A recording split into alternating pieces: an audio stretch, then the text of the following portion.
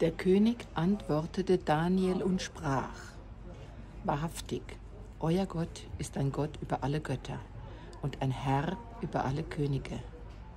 Im Danielbuch im zweiten Kapitel der 47. Vers. Und im Philipperbrief Kapitel 2, Vers 10 heißt es, in dem Namen Jesu sollen sich beugen aller derer Knie, die im Himmel und auf Erden und unter der Erde sind.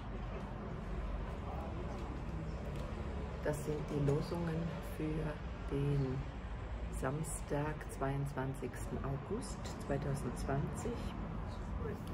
Beim ersten Wort, wo der König sagt, wirklich, euer Gott ist ein Gott über alle Götter und ein Herr über alle Könige, ähm, geht voraus, dass der König Nebukadnezar einen Traum hatte, einen verstörenden Traum von einem großen, gewaltigen Standbild, dessen Kopf aus Gold war, die Schultern und Arme aus Silber, ähm, die Hüfte in Kupfer gearbeitet und die Füße mit Eisen und Ton. Und dann löst sich vom Berg ein gewaltiger Brocken und zerschmettert das ganze Standbild und fängt auch noch an zu wachsen, dieser Stein, dieser Felsblock.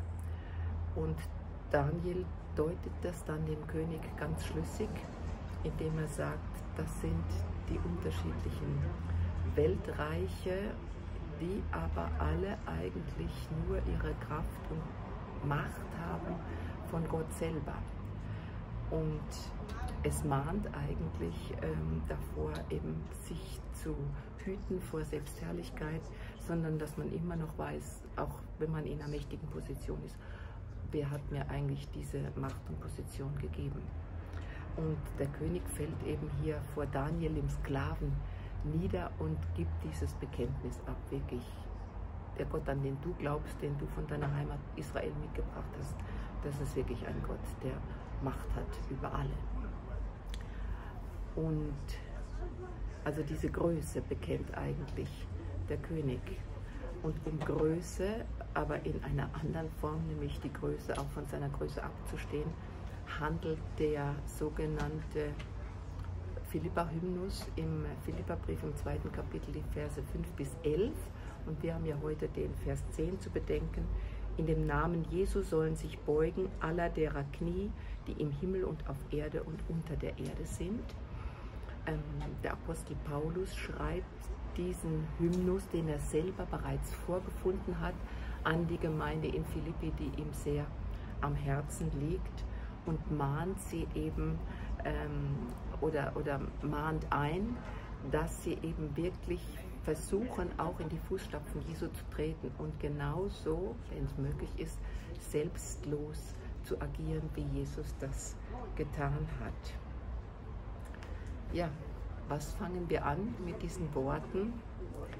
Ich denke zum einen einfach so innehalten und überlegen, ja, wie groß fühle ich mich, ähm, wie erhaben, wie mächtig, wie wortmächtig oder tatenmächtig. Ähm, und dass man versucht, wirklich richtig zu gewichten, dass man ähm, ja, sich nicht selber überschätzt. Oder vielleicht deutet ihr es anders für euch, macht diese Worte anders fruchtbar. Jedenfalls ist es wieder ein neuer Tag, eine neue Chance, unsere Liebe, so wie wir sie geben können, in den Tag hineinzustrahlen und dass sie hoffentlich gut ankommt. Adieu, alles Liebe.